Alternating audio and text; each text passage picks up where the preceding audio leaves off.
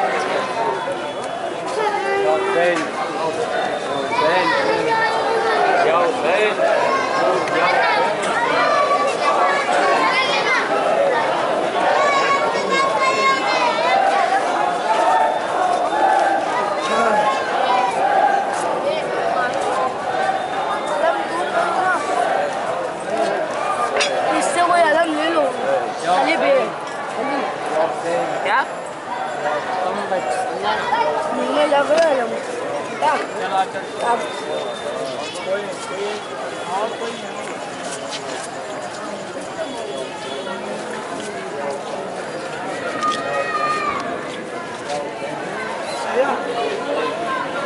Okay.